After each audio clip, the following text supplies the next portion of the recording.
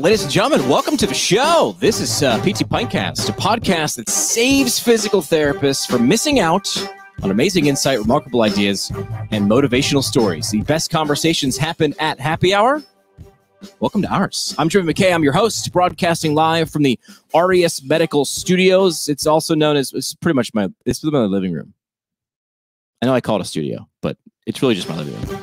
Uh, find them online at aureusmedical.com. Leaders in hashtag travel physical therapy. What you do is essential as physical therapists and physical therapist assistants. You decide where your license and your career takes you. So find them at aureusmedical.com. Don't forget, subscribe to the show, iTunes, Spotify, Google Podcasts. I actually just ran into somebody the other day and they were like, Well, how much does it cost to subscribe to a podcast? It sounds like there's a monetary transaction. No, subscribing to a podcast just means you never miss an episode sometimes you need to over communicate and i wanted to do that, that with you right now. We're also video casting these on youtube. So you can see my face do the intro every time and i apologize for that. Youtube facebook and twitter at pt pintcast on the socials. Uh, i think that's all i need. Oh uh, questions and comments. If you're watching this live drop uh, live and then your name and where you're from. I'm always i'm terribly interested about where people are watching and, or listening to the show and how you're consuming it. So if you're doing that let us know live and where you are. And uh, if you're watching the replay as well, always curious people watch the replay afterwards. That's always fun. So do that uh, no matter what platform you're on Twitter, Facebook, or YouTube. Or, and I put this out there, you feel free to text or call me. This is my actual phone number. I just flashed on the screen. I'll put it up there again. And people think, well, it's just like that's actually my phone number. I'm not going to say it for the podcast listeners. This I want for the the viewers on uh, on Twitter, on Facebook, on YouTube uh, drop us a text and let us know in real time what you guys are thinking about the show. So that's the first round. It's brought to you by our friends at Owens Recovery Science, a single source for PTs looking for certification in personalized blood flow restriction rehabilitation training and the equipment you need to apply it in clinic properly. That is a mouthful, and I did it all on one breath. I don't want to brag, but let's get the serious music here. Uh, we've got a great show for you tonight. We're talking about a presentation that happened uh, this year at CSM, which feels like seven years ago. Let's be honest here. Feels like seven years ago. Um, it was about social determinants of health and the impact on PT outcomes. So we bring you virtually, of course, the people who helped present that. Let's bring them to the show. Lisa VanHoose, Rupal Patel, Zachary Rethorn. Welcome to the show. It's the only way, it's the only way to do it in 2020 when we're virtual. I keep this button right here. This button I'm talking about right here, handy at all times, no matter what Zoom meeting I'm on. It just gives me a feeling of like, hey, great job, Jimmy. I feel like everybody should have one of these, and it will just yes. Will raise your spirits every single day. Mm-hmm. Uh, ladies, gentlemen, welcome to the uh, to the show. Glad to uh, to steal you for a bit of time and talk about a really important topic, which is being discussed a lot in our our profession right now. And we like to jump on top of that and continue discussion. So, first of all, thank you guys for coming out. Well, thank you for having us. Yes, thank you. Uh, we get the hard questions out of the way first. I swear, this will be the hardest question of the whole show. What are we drinking? Lisa, we start with you. Amaretto sour. In a copper cup. In a copper cup so it stays chill. I thought about wine, but I had wine last night for another meeting. I like it. I mean, this is a perfect meeting accessory. We're going to be talking about diversity, so I'm yeah. diversifying my adult beverage. All right, Rupal, what do you got in there? You got a wine glass. I do. I have a wine glass, and it's a Chilean, one of my favorite Chilean wines, Camamare. So, and it's the same bottle I opened last night, Lisa, at the same meeting you and I were at, and I'm finishing. No, you got you. Don't don't quit. Make sure you finish what do you got? I have a Japanese whiskey here. Uh, so I've been into Scotch for a while, but I'm I'm branching out and uh, seeing what international whiskey flavors are like. So this is a nice Suntory. I like it. Wow. I had never heard about like Japanese whiskeys being a thing. And I was watching on something on PT Twitter and people were like, oh, I'm expanding. I think it was probably Jerry Durham. I'm expanding my Japanese whiskey collection. And I'm like, I'm just working on my regular whiskey in the kitchen collection. Uh, I need to say thank you to professor and physical therapist Jay Grimes from Sacred Heart University. Uh, he sent me a couple of these. This is the Mega Boss IPA from Newberg Brewing. A perfect way to say thank you to your favorite podcast host would be to send him beer. So well done. Uh, so we've we've got the hardest question out of the way first. Let, us just go around the horn, just set the table. We want to make sure the audience feels comfortable with the guests. Uh, Lisa, when someone asks uh, who you are, what you do, how do you how do you respond? Um, so I say that I am a mother, a wife, I'm a daughter, a sister. I am located in Monroe, Louisiana. Um, which, if you're wondering, we're 40 miles north of, um, well, 40 miles south of the Arkansas border. I am the program director at the University of Louisiana Monroe, and I'm also the owner of the Ojima Institute. Perfect. All right, Rupal, same question. Same question. Okay, I'm a mother, yeah. daughter, wife, um, health promoter. I'm an Asian Indian. I'm immigrant and uh, a physical therapist and a faculty member at Texas Women's University in Houston, Texas. You know, I like, and usually I do the big fancy radio intro for the guests, and I'm liking this flipping the let the guest introduce who they are, right? And and like a perfect example is, you know, in in your ID there, will you put your pronouns? Hmm. So that's like another way. Maybe maybe I should start to include this in how I do things, which is let the guests introduce themselves. I'll, I like that. All right, Zach. So no pressure now. You're last. yeah, so I'm. Uh, I'll follow up. I'm a, I'm a husband. I have two wonderful kids. Uh, I am a faculty development resident during the day at Duke University. Uh, at night, I moonlight in my own telehealth practice, uh, Rethorn PT and Wellness. I'm finishing a PhD and wearing a lot of other hats as well. Uh, feeling a bit overwhelmed. I think the latest hat I've picked up is homeowner slash DIYer now, doing yeah. some projects. So this weekend I'll be blowing out a wall. Uh, so learning all about load bearing structures and how things like that work. It's not ever something I've had to do before. I would like to hear how that turns out. That is the before. You know, the, the Twitter thing going around, how it started and how it turned out. I would love to see a before and after picture to see where that goes. Hopefully the after picture isn't like a caved in house from me doing. I want to see no blood anywhere in the Rethorn house. Um, so, uh, Lisa, Rupal, Zach, we bring you on because you guys did a presentation at CSM in Denver. That was actually in 2020. I don't know if you guys can wrap your head around that being the same year that we are still, in fact, in. Oh, I know. Last time I took a trip that, you know, for a conference that, you know, so many since then I've missed and yeah. just doing these Zoom boxes for those and so real. Yeah, well, we will give a nod. Lisa, you're you're giving a keynote at the New England uh, conference. Some states up there, in New England, Connecticut, uh, Rhode Island, Massachusetts, uh, all coming uh, all coming together to kind of do a, a conference as well. So you're going to be doing the keynote for that. Yes, that first week of November. I'm super excited. So it's going to be a great conversation. Yeah, we're gonna have uh, we're gonna have you broadcasting your keynote on this show. I don't know if you knew that, but I did not know that. Your your keynote will be broadcast via this channel. Oh, All so right. do I get to drink while I'm doing it? It's actually required at that show, at that conference. Weird, but it's in, if you look real small, it's in the fine print. Um, but let's talk about that presentation you guys gave at uh, at CSM. Uh, first off, I'd love to hear the backstory behind conference presentations, which sounds like one of the geekiest things I've ever said in my entire life. But I do love how people have this bumpability factor because you all have unique and diverse backgrounds. How did you guys kind of come together and form this like Avengers moment and say, hey, here's this thing let's do this thing together. Wow. I don't even remember, guys, but I, I, can tell you a story about, you know, how I met Zachary.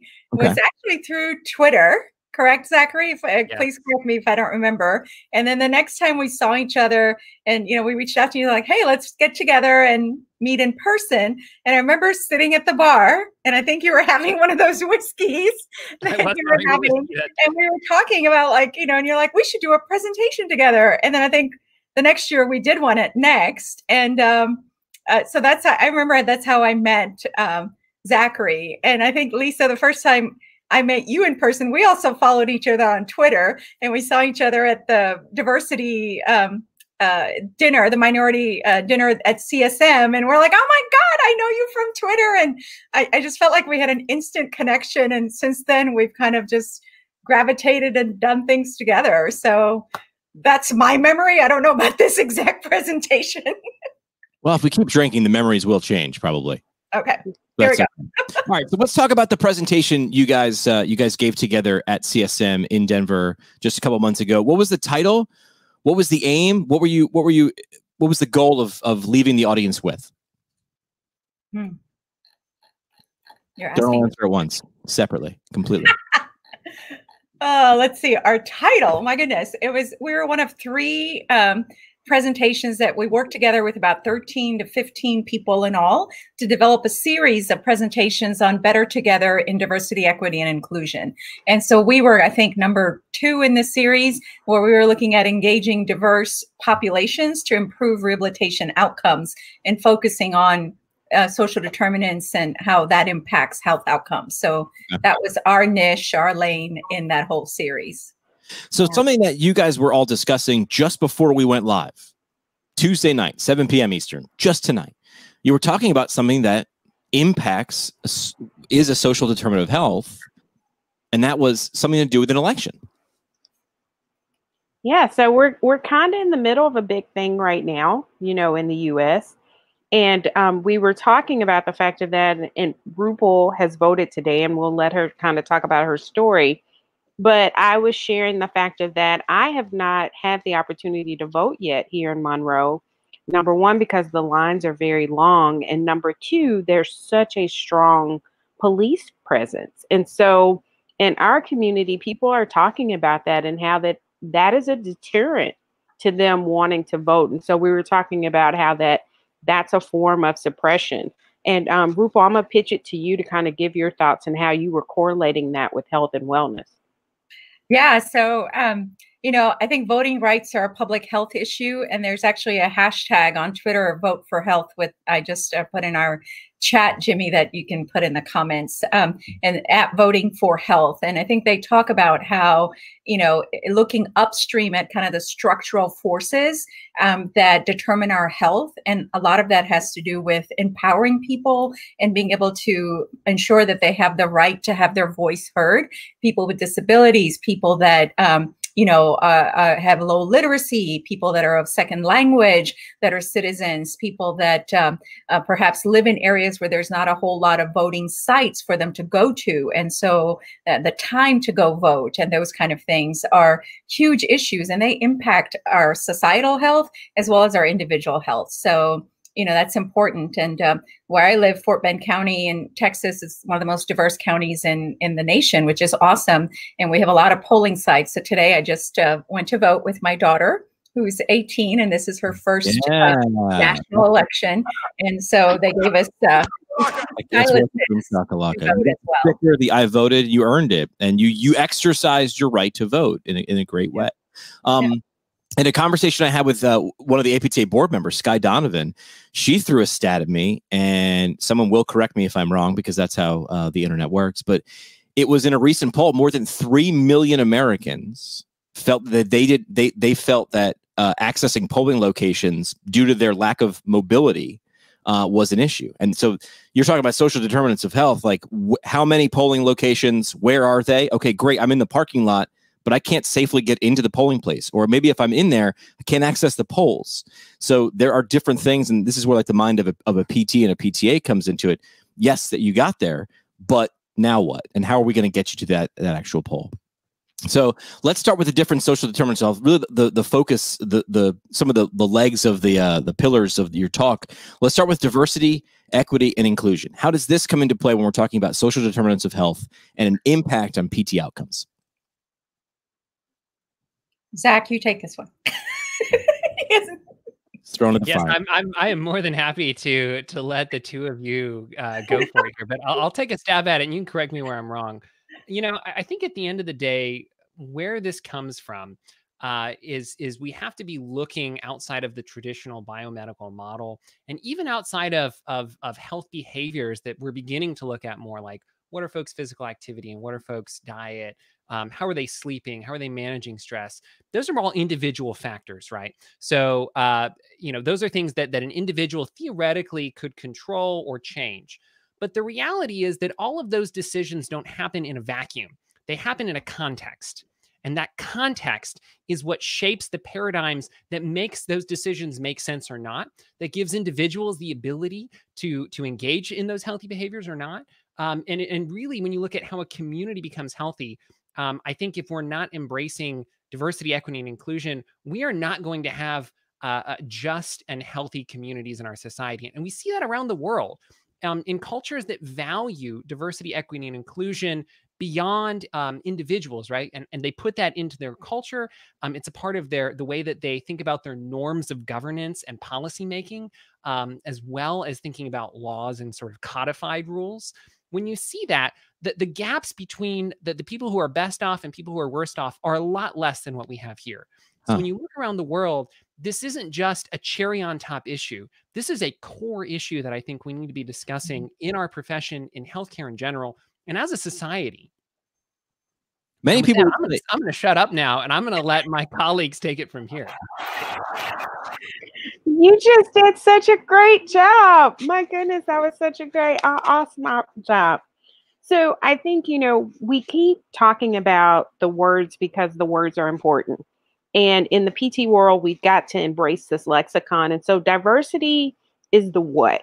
So it is all of those differing elements that make you who you are. And I love listening to um, Rupal talk about this because she made this point that we often talk about diversity as people, but really it is all of those elements that make up that person.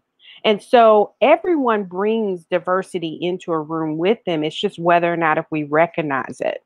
And so diversity is the what, the inclusion is how do you allow, how do you value and include and welcome that diversity that someone brings into the table or into the room.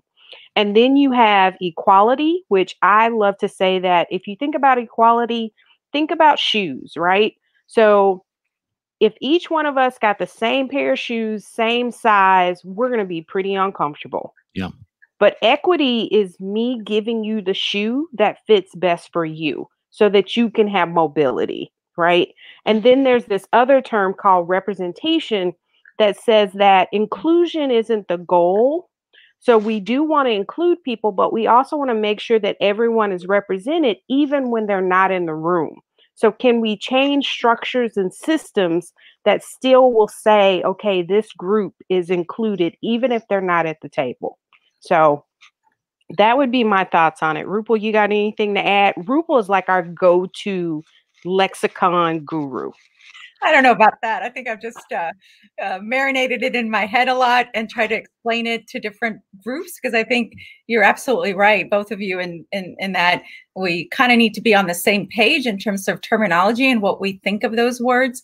And I love what both of you, you know, had to say um, about that. And I think for diversity, when we talk about it in our profession, you know, um, we know that the diversity really is uh, something that you know as lisa said uh, you bring to a group. And when we talk about pt as a profession whether it's students whether it's uh, faculty whether it's clinicians you know a lot of times we talk about cognitive diversity and you know what that is about our background our experiences our knowledge how we approach problems which is really important okay? But what we're lacking when we talk about diversity in physical therapy is really identity diversity which has to do with our race our ethnicity our sex our gender identity our sexual orientation and how that impacts you know the other things. And are we equitable in terms of where we are with you know that piece of our identity in terms of um, diversity goes. So i think that's key that you know all all forms of diversity is important but when we're talking about outcomes uh, and we're talking about physical therapy we're really you know it's that identity diversity that's a missing piece that you see so many of us now are looking to you know work at. Um, so i think that would be the thing. And i think that whole piece of inclusion a lot of times people say well let's not talk about diversity. Let's just go straight to inclusion. And I don't think you can do that. I think that, you know, you could you could have an inclusive group by definition can be diverse, right? But a diverse group is not always inclusive. Just because you have all different colors and races and ethnicities and gender in a group doesn't mean the group is inclusive. And I think there's a big difference there. And inclusiveness, as Lisa mentioned, is about representation. And it's really like if I'm here, here on this Zoom screen, and I've got, you know, uh, a black woman, an Asian Indian woman, you know, a white gentleman, I'm thinking both of you. But, you know, so we're a diverse group, right? Here. But is this an inclusive environment? You know, Jimmy, you set it up to be inclusive, you know, and, and so this sense of belonging, this sense of I can be my authentic self and share whatever I want with you and, and these my other two colleagues who I feel very safe with, inclusive with. That's the thing, you know, and we don't always feel that way in all the environments that we're in. So there's not that inclusion.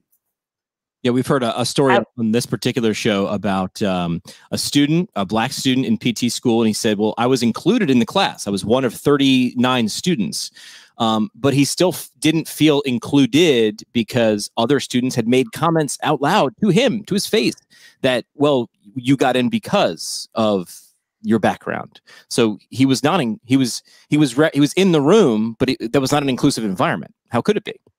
I'm sorry, Lisa, I cut you off. What were you going to say? No, I think you that was beautiful. I have nothing else to say about that. That was great. That just sums it up. I think your shoe analogy, especially for PTs, right? Especially because now you get to frame it in mobility, which is yeah, if we all got a box of shoes, great if they fit, and if we're allowed to use them, and if we feel safe using those. So I think that that shoe analogy, you can go a couple different steps mm-hmm. um, with that. Some people might say we're talking about it a little too much. Some people say we're talking about this. Oh, are we still talking about this? And I heard a great um, counter to that, which is if you think we're talking about this too much, clearly the issues didn't affect you. And, and it's very And you are probably privileged, right? Um, privilege, and, and I will say everyone has privilege. But what I mean by that is, is that if you feel like we're talking about this too much, then you've not recognized your privilege and how you need to use it to improve the health and wellness of others. Because if you've got data that's saying that 70 to 80% of health outcomes, and I'm going to quote Dr. Zach's work, 70 to 80% of health outcomes is related to social determinants of health. So, oh. really, all that pressing, clicking, thrusting that you're doing on people's joints only accounts for 20%. Zach, dropping stat bombs. Talk about that. Say it again, because I, feel, feel like when you really when you hit him with a stat like that, you got to hit it again to make sure it sticks. Yeah. So, you know, th- the reality is that at, when you look at different factors that affect health, depending on who you read, and there's some variability, right? Because these are models and no models perfect.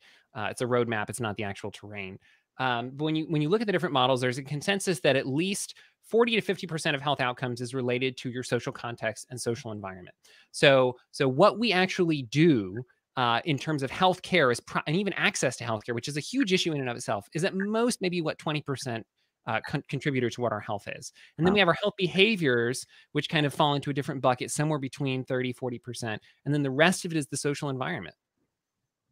Are we in conditions that allow us to be healthy, right? So um, Michael Marmot, who's a who's a professor in, in mm-hmm. the UK, has this great quote. He says, "Why do we treat people and then send them back to the very conditions that made them sick in right. the first place?" Yeah. Yeah, I heard a great line during my first clinical rotation, which was sometimes uh, patients will walk into a clinic or a doctor's office and they'll expect to be fixed or cured or changed.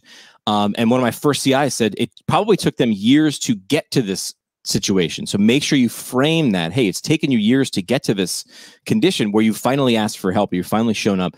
Make sure you understand that that this will take change in se- in several different aspects of your life. Um, we've had conversations about food deserts, which I had never never heard of, or food swamps. I mean, you know, Patrick Berner came on here and taught me food desert, and a couple months later taught me food swamp, and I was like, "You're just making up. You're just putting food in front of different ecosystems, in front of biomes, and you're making this up." But then he talk, he explains it and saying, "Oh yes, you can see this." And if you're not thinking that this has something to do with health outcomes, you're not paying attention. Yeah, beautifully stated because sometimes as PTs and PTAs, we have to remember that we are sitting in a socioeconomic class that allows us a, a little more mobility than the typical American, right?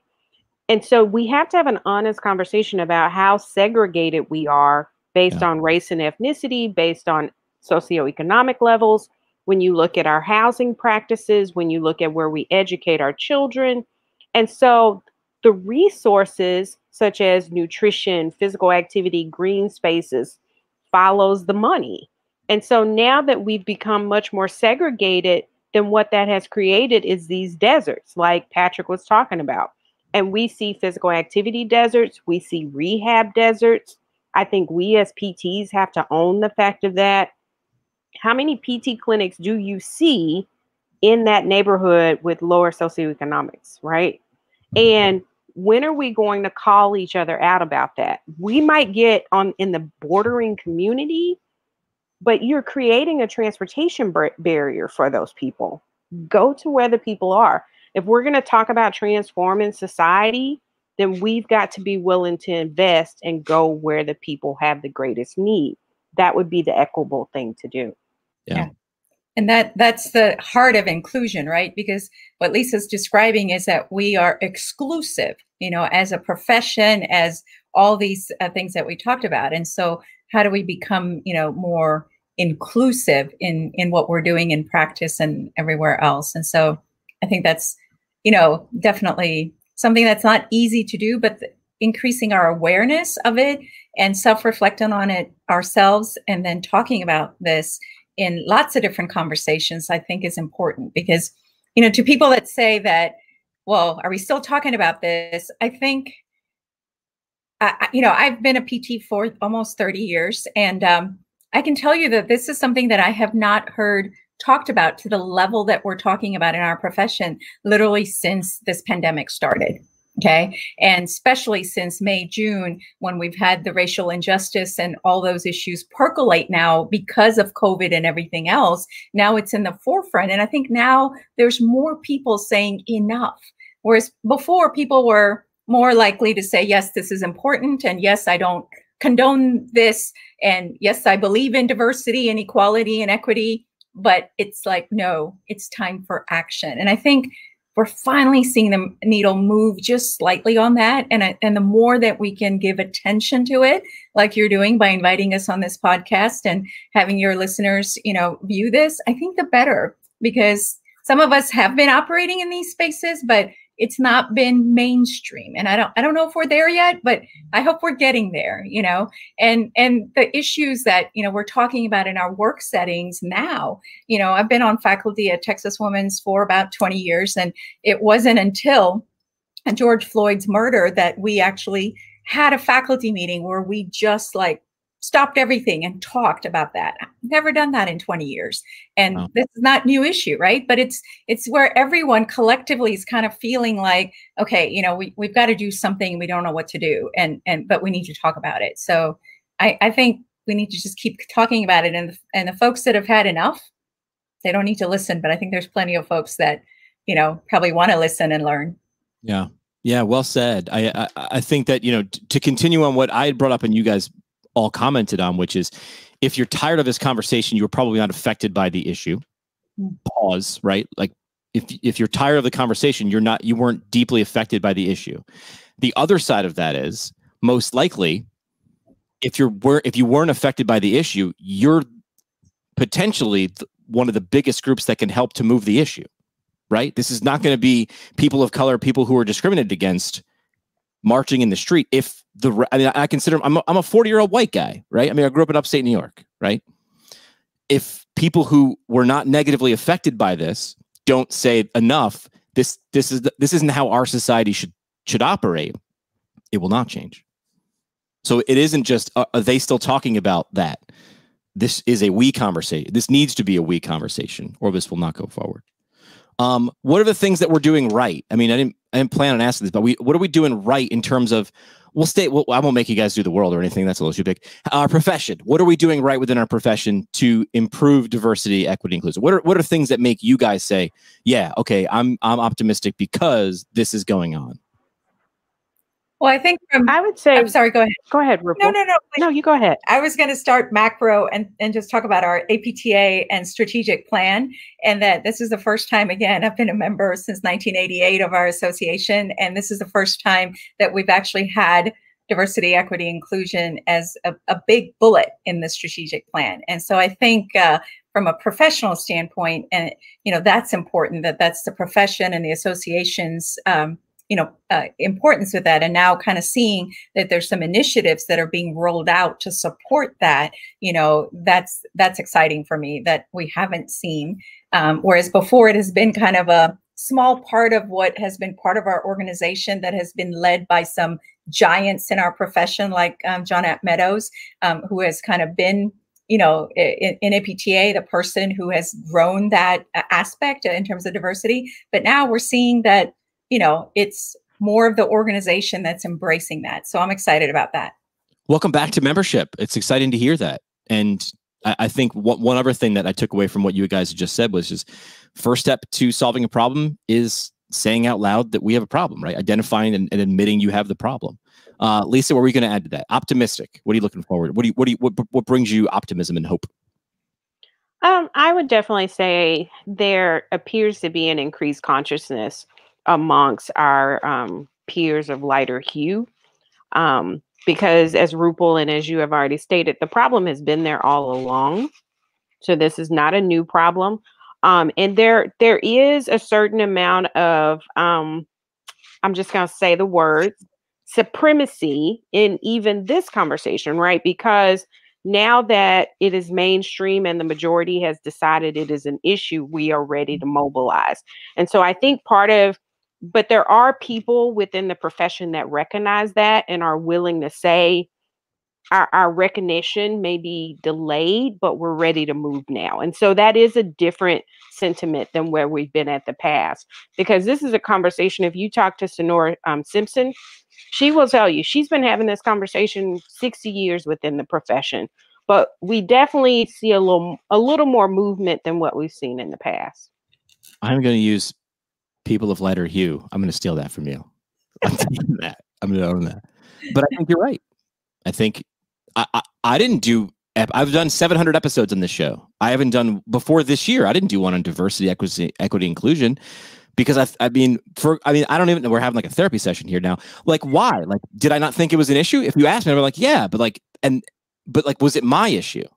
Right before 2020, I was probably like, I don't know, someone else is someone else. Some talk about that and that's the opposite of what we need to have now mm-hmm. right? Which is like this is we need to we need to have this conversation. And we is a collective we. Uh other person of lighter hue jack zach did you want to add? I'm killing i'm keeping that. Yeah i'll accept that. Uh so i think that that for me one of one of the things that's that's making me optimistic is um i, I think we're going to see an increased focus uh, on on diversity, equity, inclusion, yes, uh, within our profession, that's massively important. I think we also have to understand um, how we're taking into account patient social context as we're working with them, and are we providing them with the best care, uh, no matter who the person is that's treating them. Are we taking those social factors into account? I think we're going to see some more emphasis specifically on on social determinants of health as we move forward as well. And that's that's optimistic for me because I think that's, as I mentioned, just a massive piece of the equation of what's going to improve our community's health that we've just completely ignored up until now. So Rupal mentioned, mentioned it earlier, macro to micro. So we're, we're talking about social determinants of health, how they impact. We threw some stats in there. We got a little bit more macro in terms of diversity, equity, inclusion. How about we go tactical micro? Let's talk about tools to integrate social determinants of health, how to bring this into someone's PT practice. Someone listens or watches this episode right now. What can they be doing tactically tomorrow, this week, this month to move the needle either in their one to one interaction with a patient or their practice or their giant, you know, franchise practice? What can we be doing? What are the tools to integrate this into being? Because that's the only way change happens, right? Yeah, there's, uh, I think that's the toughest part. And it's interesting because I am teaching my health promotion class right now. And so just last week, I had this conversation with my students about, you know, integrating social determinants and knowing what they are. And, and the biggest barrier that they brought up, I had them kind of write a blog about it, is to their own self efficacy and self confidence with addressing sensitive issues. And if they bring how to bring it up, and then what to do if the patient uh, has that as an issue. And so, not knowing what to do, not knowing how to bring it up, really stops people from having to you know dive into this conversation. And so i think there are tools that are available. I know that uh, my colleagues know my favorite tool is by health leads and uh, that has 10 questions that really are psychometrically really good and areas where you can ask questions of your patients. I think the hard part is the art of how to do it you know how to ask the question in a sensitive manner so that you, uh, you are respecting the person and you are entering their space and inviting them to enter your space and acknowledging that you may not have all the answers, but you're willing to kind of explore this aspect of their life because that is the most important aspect to them. and not necessarily the shoulder pain or the back pain or whatever it is that they're coming to you for. And I think that is a big crucial part of it is us getting comfortable in doing that. And I think it does start with educating students. And I would love to see something like social determinants of health and how to screen for that as a first semester or first year item and not necessarily something you think about after you teach them everything else, then make this the cherry on top because we need to go upstream. We need to look at the structure determinants, this, you know, the, the community determinants so that we can make an impact at the individual level. What, what did you say was your was your was your go-to? What was that one more time? Health leads. I can drop it in our chat. Yeah. And, and, and, and, so what is that? Is it like an outcome? Is it like a like a 10 question? Like what is that? Yeah, it's a it's a Health Leads is an organization that has uh, developed um, you know a screening tool, and it's very quick and easy. Ten questions um, written at a very good health literacy level that we can incorporate in all our settings. You know, with patients. And I know my colleagues have other tools, but that's just my go-to one that I use. All right, yeah. so we'll drop that in the comments below. Lisa, what do you got? So I would say even before that patient interaction, um, think about how you have prepared and trained um, to be able to do that physical therapy evaluation. You need to do the same work in regards to the evaluation of the communities that you serve. Because you can ask most business owners, most managers, what's your payer mix? And they can tell you what their payer mix is.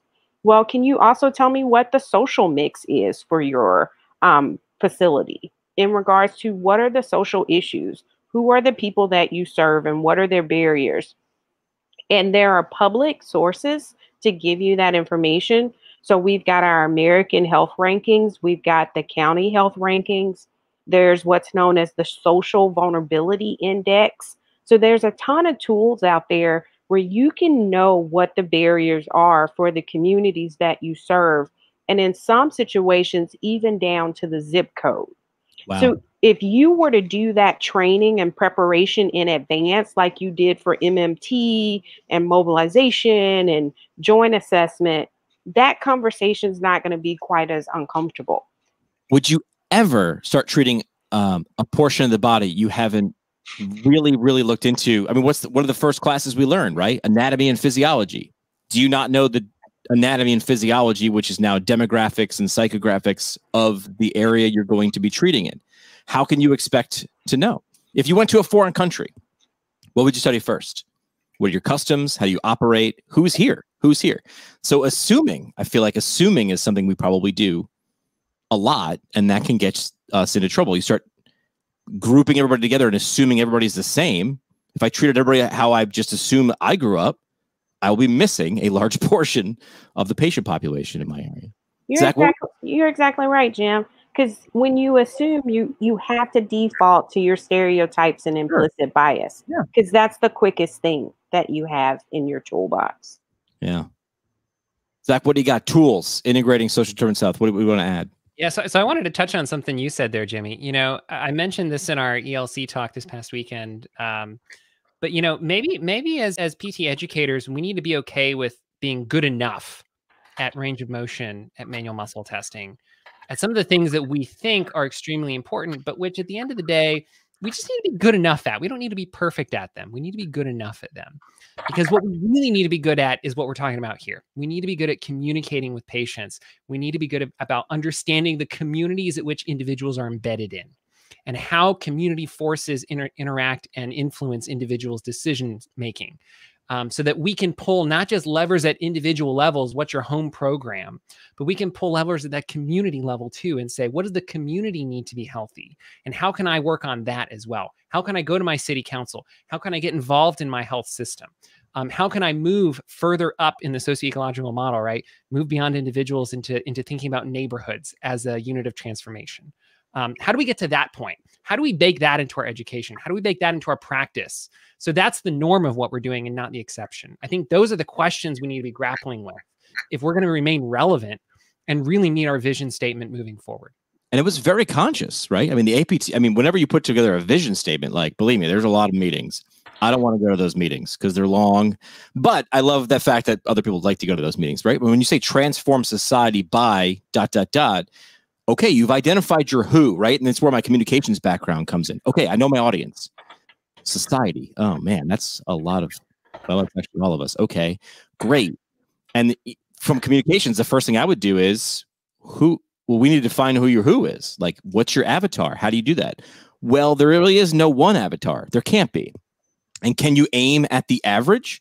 Well, that would be Jimmy, right? 40 year old white dude. You know, okay, great. So you just aim at Jimmy. You miss a lot on both sides of that bell curve. So understanding who your who is um, matters to depends on where you are, and you need to be open to understanding who that is. Um, rehab outcomes was something you guys got into as well. Well, we before we get there, Jimmy, I, I do want to add one piece um, to this whole uh, social determinants and screening. I think the you know, if you get comfortable asking the questions, that's great. We all need to do that in every setting from, you know, neonate to end of life, um, in every setting, every kind of patients we work with. But asking the questions is not enough. Okay. And before you go to ask the questions, you have to have a plan in place. Just like we do with our plan of cares when we do an examination and we measure range of motion. If the range of motion is going to be limited, we have a plan. We have a set of exercises and mobili- mobilizations and manipulations we can do to fix that. So that's the thing. When you ask about social determinants of health, you have to have the plan to not necessarily fix it for the patient, but at least um, hook them up with resources where they can get help to do that. And so that's where I'm going to punt it to Zachary because I want him to mention a couple of the sites that we have mentioned in our talk um, at CSM and others that I know people have found to be really useful before we get into outcomes. Okay. Yeah, so absolutely. I think that that one of the the main ways that we can find out, you know, and build our Rolodex of community partners and and stakeholders, right? Because this is a team sport when we start thinking outside of our clinic boxes, it's team sport to help patients. Um, so who are going to be our partners? Who are going to be the stakeholders that, that we're going to be leaning on and, and linking with?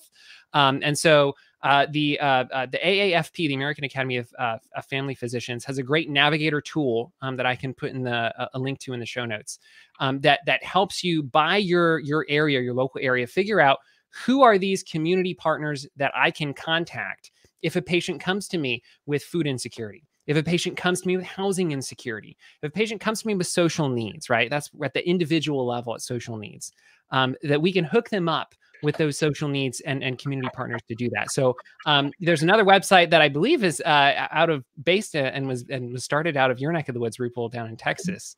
Um, Aunt is, uh, yeah, Aunt Bertha is another great one. They have resources all over the country as well. It's not just local to Texas, but those are two websites I would steer clinicians to specifically um, to begin to better understand what are the resources in your neighborhood that you can be talking with folks about. And just so everybody's uh, aware, either watching or listening, when we release the podcast episode, we'll take a lot of these resources. We'll put the link in the show notes. So we're gonna build, we're gonna build your notes for you. No need to be like you know jotting stuff down. We've got you. Um, so do you want to talk about outcomes now? I don't want to rush.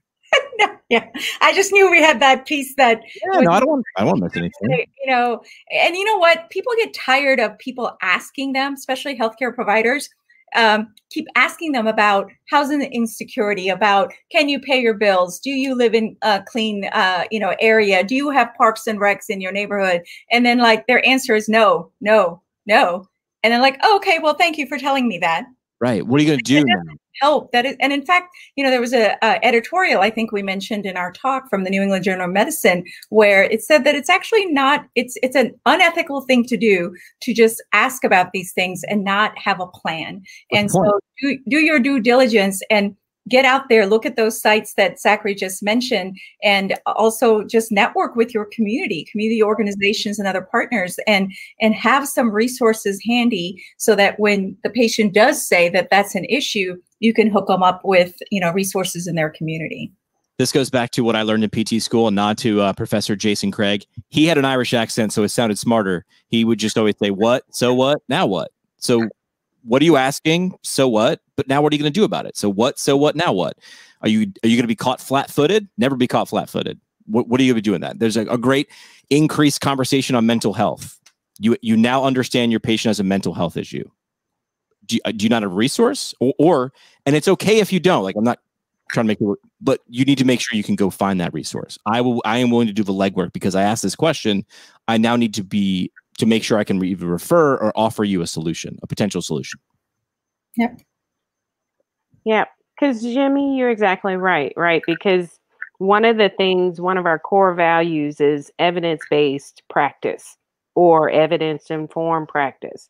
And so the evidence is telling us already that 70 to 80% of health outcomes are going to be based on social factors. And so, and I group those health behaviors into social issues because the data suggests that you are the average of the five people that you spend the most time with. And because we segregate into communities and communities tend to be homogenous, we have to address those social factors as PTs. You can have the best PT plan of care, but just like y'all said, if you're going to not help to improve the health and wellness of that community, it's just going to be short term. Right. And that's how we're, we're trying to cha- transform society. Transform to me doesn't sound like a short term fix, right? I, I, don't transform myself from day to day. You transform yourself long term. Mm-hmm. Um, let's move to uh, to rehab outcomes. We heard some statistics from from uh, from Zach's work. What are some other rehab outcomes that you guys would want to bring up? My goodness, where do we start? I mean, I think that in everything that we look at, you know, if we look at the repeat offenders in our practice settings, and I'll just pick on musculoskeletal health and outpatient practice settings where, you know, you have patients that come to you and for an episode of care, you take care of their problem, their you know functional limitation, their you know uh, whatever's going on with them uh, impairments, and then you send them their way and and give them a nice home program and and you pat yourself on the back job well done check check check goals met and then here it comes three months six months a year later they're back for the same thing and then what do we do we make it their problem, right? Mm. And we say, oh, they followed my home program, or if they had just done this, then they could have gotten better. Um, and and so you know the outcomes are poor because a lot of the musculoskeletal medicine patients with chronic conditions are repeat uh, in terms of what we do. So it's really our outcomes, right? It's what we're doing is not working. And you know, one of the things we teach ourselves, we teach our students is if you're doing something that's not working, don't do it again. Like do something different. And so this is where we have to look upstream. So I, I, challenge every therapist, every student, every educator out there that, you know, eh, teach yourselves and your students to say, okay, you know, if it doesn't work the first time, the next time that patient comes in, you need to figure out what is it that you're doing that it has not addressed the issue. And, and if you haven't already looked upstream from the beginning, and if you're not an upstreamist from the beginning, then that second time they come, you need to become an upstreamist and, and look upstream at some of the other factors, pull out the social needs assessment and the screening tool, talk to them about that as part of their subjective give them the resource Aunt Bertha and the AAFP, uh, and and really talk about that, and and and and and spend time doing that, and then afterwards say, okay, now how are we going to address what else can I do to help improve this? So that to me is all about outcomes, and I didn't give any stats there, but you know that's my challenge. Yeah, and I'm going to also add in that sometimes the therapist could be part of that social determinants of health, right? Mm-hmm. because that therapeutic alliance is a social relationship. It's an oh. intercultural exchange. And so if you're noticing that you have a client that is in that revolving door could it possibly be something with you? Because the data suggests that for certain racial and ethnic groups in pt we are impacting their outcomes by either not offering them certain services or offering services at a lower frequency so sometimes you have to do a self assessment of how might I be contributing um, to this patient's progress based on my implicit and explicit bias. Wow, had not thought about that. Zach, you want to add anything here? Yeah, I can add a couple of things. Uh, so, you know, Lisa, absolutely. I think that is spot on. Um, if we're not considering that we are part of the equation, mm-hmm. and and and we have some responsibility here as well. I, I, think we're we're doing a massive disservice to society, right? You know, I go back mm-hmm. to we're licensed by our states. whether you're a PT or a PTA, you have a license. That's a privilege from the state. And in return for the privilege, we have responsibilities. We have, we have responsibilities to the public. That is what we are licensed to do. So, are we meeting those responsibilities in the way that we're providing our care? Are we intentionally meeting those responsibilities? Because if we're not being intentional, we're likely not meeting them. Um, so I think we have to be thinking this way. Uh, and Lisa, I think just absolutely what you said, spot on. Um, mm-hmm. I can add a few statistics here, actually. So I'm, that's been a bit of the work I've been doing in the last couple years. Um, you know, we looked at what happens after folks get lumbar surgery. Uh, mm-hmm. And this paper is under review right now. Um, and and when you control for all of the factors you can basically control for what kind of surgery they had, how involved it was, what other health conditions they had going on, um, when you control for age, when you control for all kinds of things, um, just when you look at these social factors as as as the predictors, you know, if you have hundred people, if eighty or ninety people are going to have a great outcome. They're going to meet their MCID for leg pain, back pain, ODI, all of that good stuff after a, a back surgery. Um, it's going to be 20 people fewer just based on, on not even on the downstream health behaviors, just based on those underlying structural factors. Um, and we see, you know, how racism is manifested in our country. We see how segregation impacts people. These structural factors, when you account for those, it's 20 people fewer are going to have successful outcomes across satisfaction, quality wow. of life, back pain, leg pain, and, and disability. That's not nothing. And if we are not understanding that, if we are not taking that into account, if we're not looking outside of our clinics, even, it's great to do social needs screening. That's not enough. That's a first step, right? Mm-hmm. We have to go out in, into the communities and mm-hmm. do something out there. That's where the people are living. We need to beach them out there. Um, you know, what are our business models like to enable us to do this? Um, do we have business models that enable us to do this? If not, why not? Why are we why are we stuck in a model where where we're all we're doing is running in the hamster wheel um y- you know ah so you know we see i think for me i'll say personally i'll, I'll share one anecdote and then i'm going to shut up for a moment um you know i when i was a clinician in, in my first job I, you know the the fact that people would come back to me i took actually as a real sign of respect that these people trusted me with their mm-hmm. health that i that i had somehow built a rapport with them uh, you know, that it was sort of a family atmosphere. It was something I was really proud of. And I worked very hard to cultivate. And yet, the longer I've been in it, the more I've realized maybe that's a poison chalice, right? Maybe it tastes so sweet, and yet there's actually some poison in there because the fact that they are coming back to me again and again means that there's still things going on out there in the community in their lives that I've not been addressing that I've not been impacting, that maybe haven't affected me personally. And so I'm not I'm not there to, to really put my skin in that game. So seeing that switch was really the thing for me that helped me understand uh, as a professional, I have a responsibility here that I cannot abdicate. Jimmy, like- you need one of those mic drop uh, things and fire things. Actually, what Zachary just gave us is NBA jam, boom shakalaka. I like the fact that we started talking about, you know, voting situations, which is very, very current events. And Zach brought up rights and responsibilities, right? I feel like a big conversation, especially in this country, is these are my rights. I have rights. Our country is built on rights. Um, if you demand your rights without recognizing your responsibilities, that's an adolescent behavior right? I want, I demand, I need, it's mine, it's my right.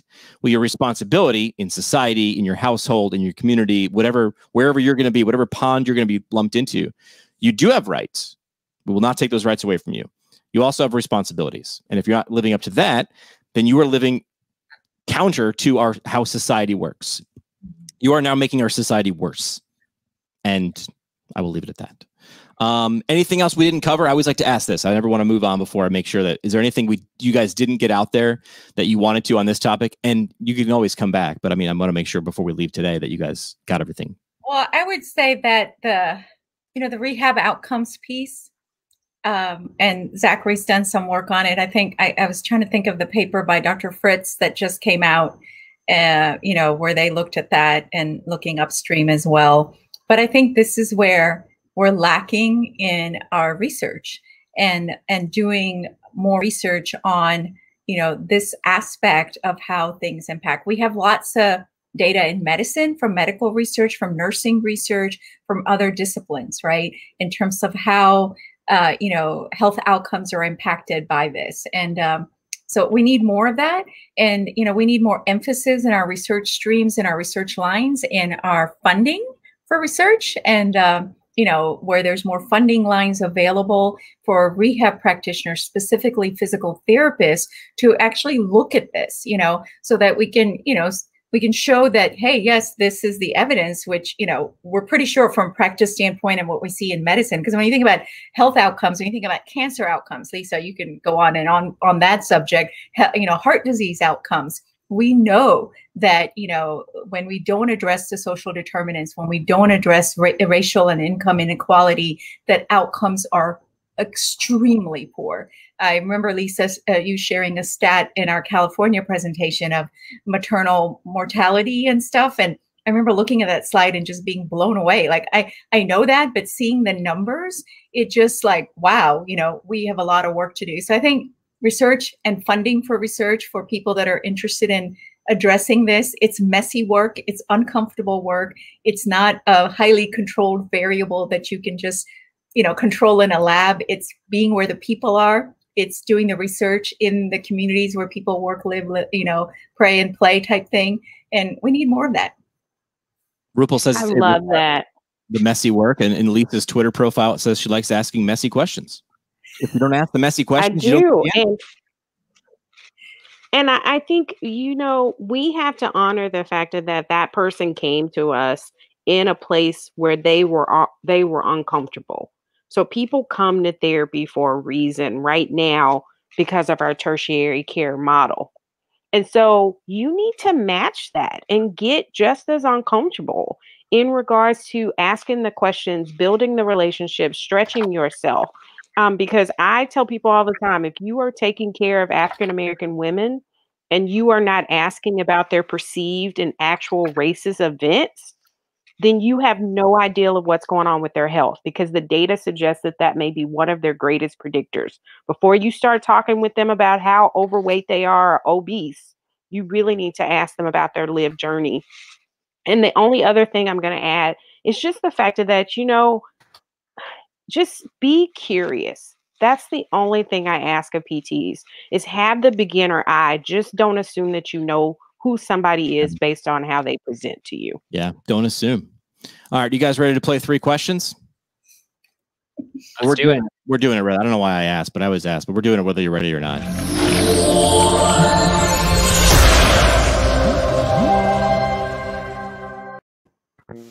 Three questions from our friends at Aureus Medical Staffing, uh, leaders in travel physical therapy. You decide.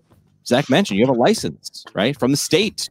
Well, nothing says you got to stay in that state. Let's your license, your PT license, which is national, by the way, but then you got to pay for a state license. You got to transfer. I, we're not going to get into that. Um, but let your license take you where you want to go. Let your, let your education take you where you want to go. AUREUSmedical.com.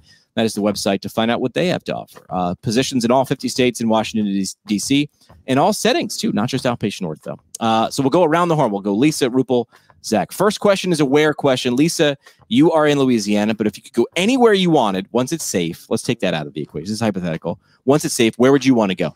Nassau. I miss my best friend Kitty. Nassau, not a bad answer.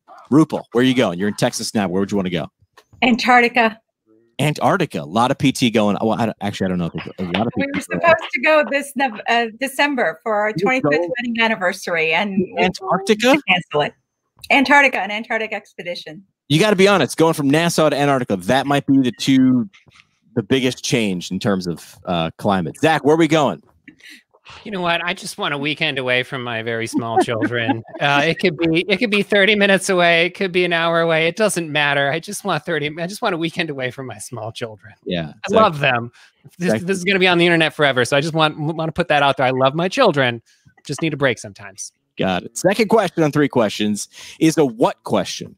Uh, so we'll start with Lisa. What's something you've watched, read, or listened to? A book, a, a movie, a documentary, a podcast, anything. Something that you think the audience could get value from. Oh, there's a book called The Best Yes. And the author, she spells her name Lisa, L Y S A. and it's T E R K E U R S T. The best, yes. Perfect. Rupa, what do you got? What's your what?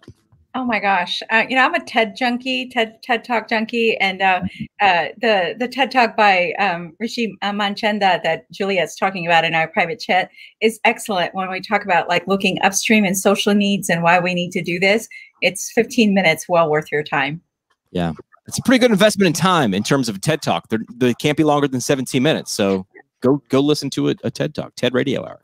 Uh, Zach, what do you got? Yeah, I think uh, I mentioned Michael Marmot earlier, and, and he's really a, pioneer in understanding how social factors influence different aspects of health. He wrote a book called The Health Gap.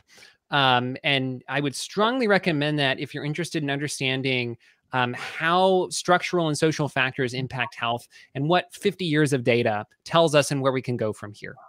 Perfect. All right. Last question is all about uh, who. We like to start and end with people. So, who I leave it open ended on purpose who is someone the audience should know more about?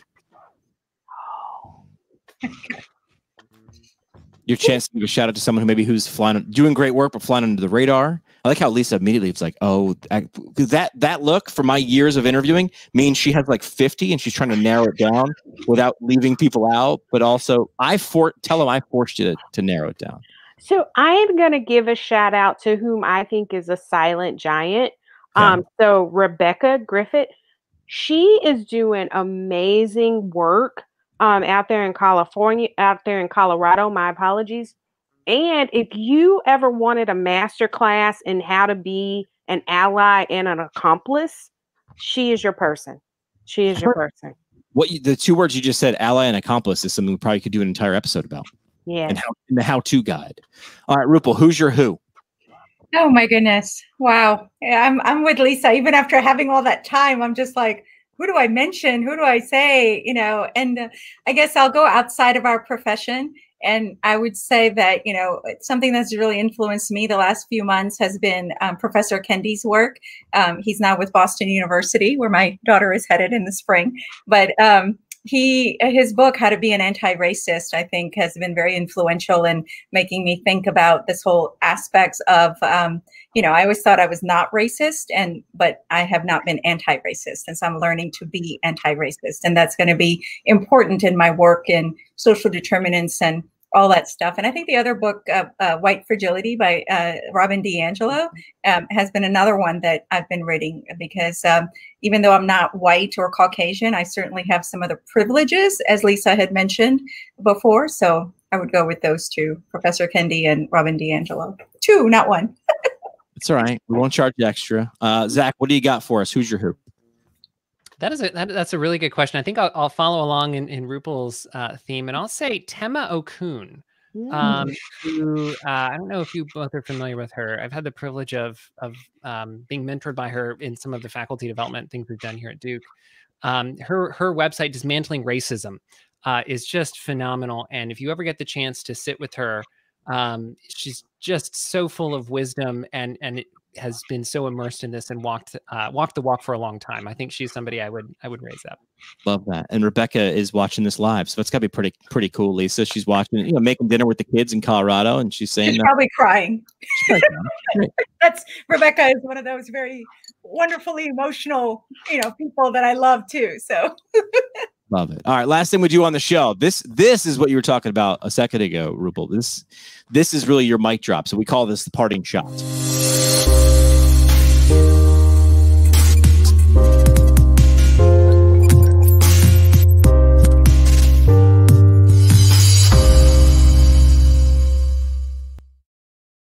Parting Shot is brought to you by our friends at the Academy of Orthopedic Physical Therapy. Find them online at orthopt.org. The leaders in uh, orthopedic PT. It's in the name, guys. It's a trick question. Uh, they've got some great courses out there. People, a lot of people using the time where they can't travel to, I don't know, Antarctica right now to maybe level up their game. I would love to go. I just how do how do you get there? We'll talk about that later. But uh, uh, current concepts of orthopedic physical therapy. That's their like prep course if you're going to take the OCS which I think the deadline to submit for board certification is coming up pretty soon. So find them online at orthopt.org. So, parting shot, your last chance for a mic drop ro- moment. It could be a quote, a sentiment, whatever, but just what would you want to leave the audience with as we uh, wrap up? Lisa, what do you got? Okay, so I'm going to go with the Martin Luther King quote, right? Because I find that that is often the go to when people want to silence you. They're like, why can't you just be a good person? You can, I must, you can fill in the blank however you want. But what he said is, I have been gravely disappointed with the white moderate who constantly says, I agree with you in the goals you seek, but I cannot agree with your methods of direct action.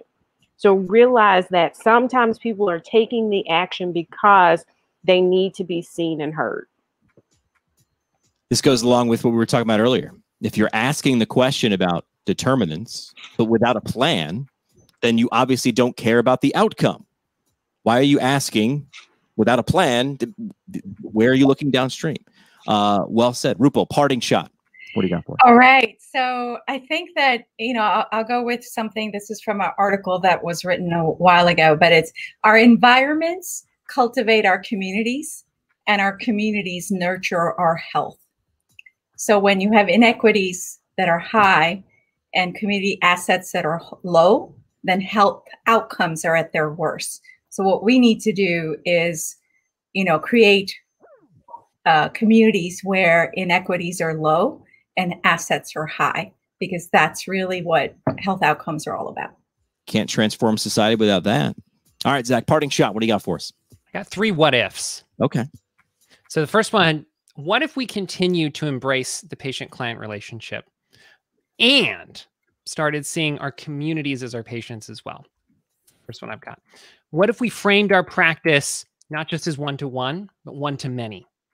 And finally, what if we recognize that your zip code may be more important than your genetic code and your social environment is going to trump any treatment that we offer in the clinic? I think if we recognize those three things, we truly have an opportunity to live up to what our profession can be. Yeah, well said by all of you guys. I, I, wanted to throw this in. We can be social determinants of changing health, right? That's our profession. We can we can determine that these things change if we pay attention and recognize where we fit, where the different where the different questions we need to ask and the different plans we need to make uh, come into play. So I want to thank you guys for dropping by the show. A lot of people uh, chiming in as they watch and uh, and listen live on the socials. Uh, would love to have you guys back on the show and uh, and talk more. But appreciate your time for coming out and talking to us today. Thank you. Thank Thanks you. so much, Jimmy.